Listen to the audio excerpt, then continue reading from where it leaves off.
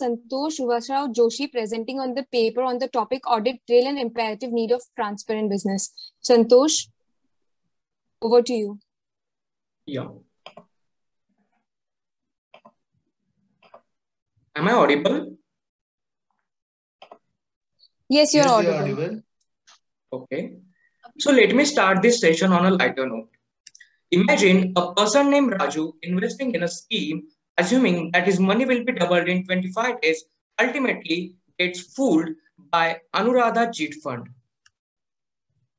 Once again, imagine a person named Vijay Raj, popularly known as Kawa Biryani, diving into a gutter, assuming it as Pavitra Ganga, gets like this. And imagine a person named Roy threatening Inspector Kabir about sending all the details to Commissioner about 10 crores which are there in Goa Sebastian Garden. And then Manav comes and says, इसमें तो network ही नहीं है. I'm pretty sure that you must be laughing just like this person. Jokes apart, let's make it practical now.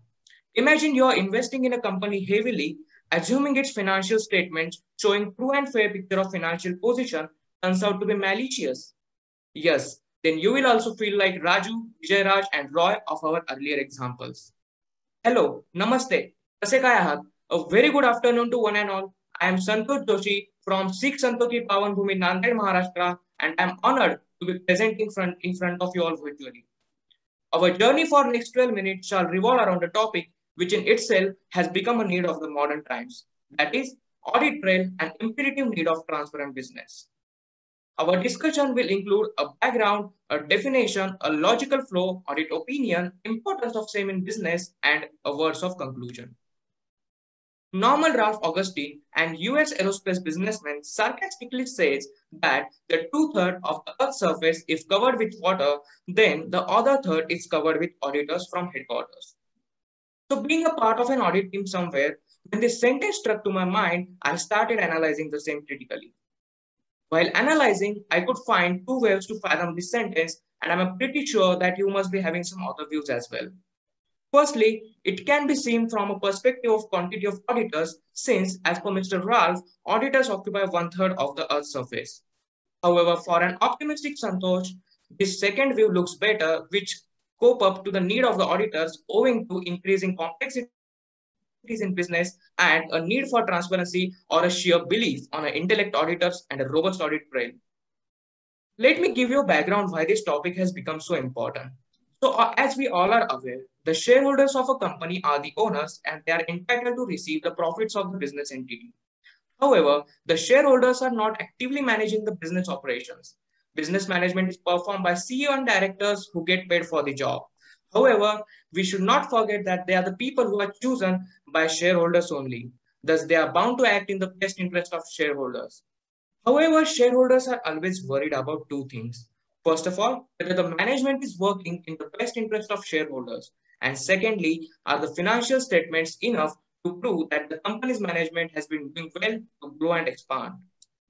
The answer to our question is big no. And this GIF of Mr. Bean perfectly describes the situation of shareholders.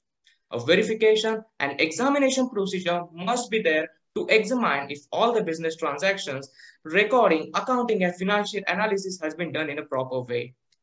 And there comes the definition of audit.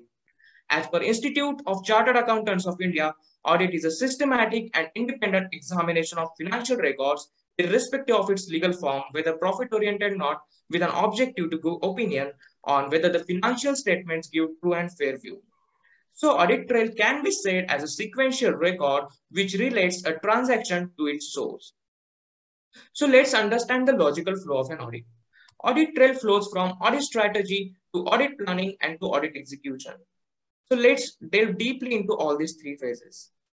The auditor establishes audit strategy that sets the scope, the timing and direction of the audit and guides the development of the audit plan.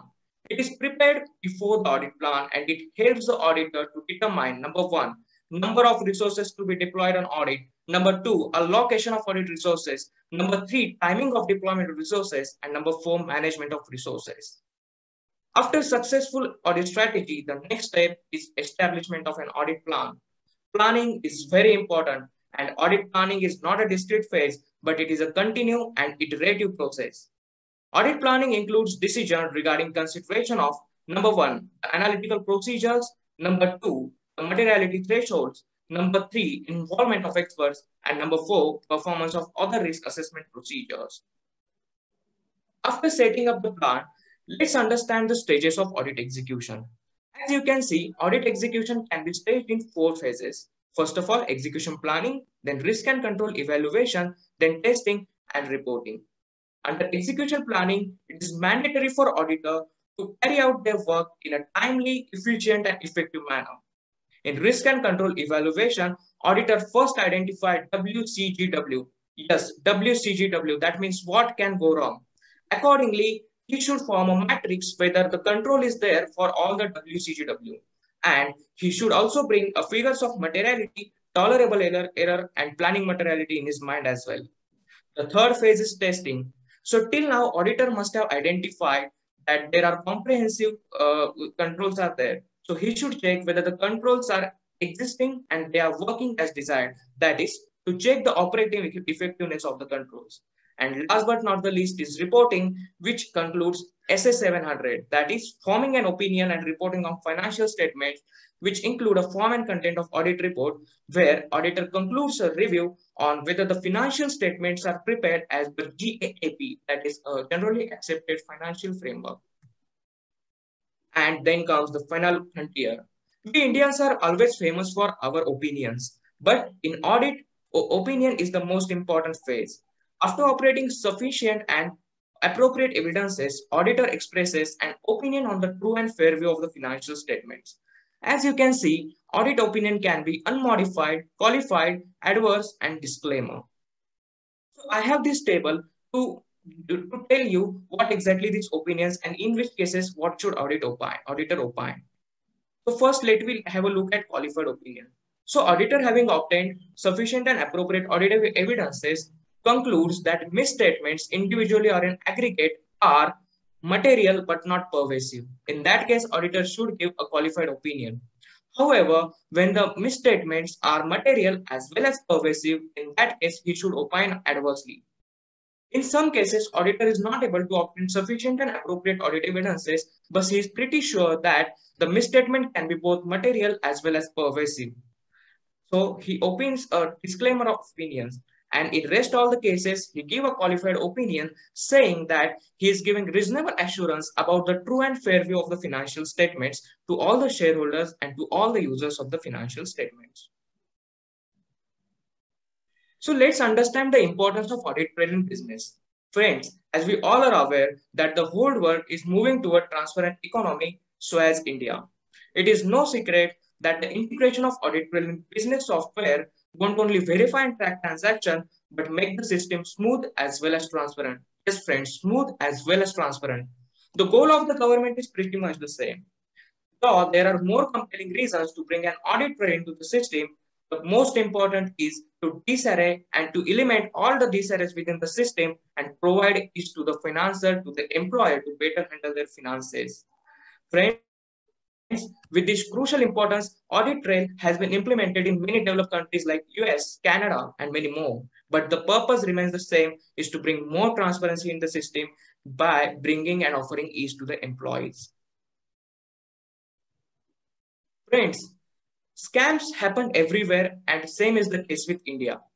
Despite having robust auditing system, I hope you all must have understood this person in this slide.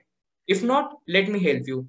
He is Ramalinga Raju, who was an owner of Satyam Computers. Satyam Computer was a public limited entity which was enjoying a good reputation.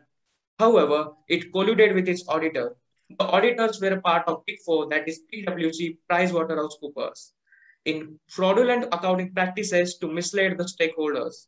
But and the issue, when did the issue started? The issue started when company made an attempt to invest rupees 7,000 crore. Yes, a mammoth amount in that period during 2008, when he made an attempt to invest rupees 7,000 crore in Maytas infrastructure.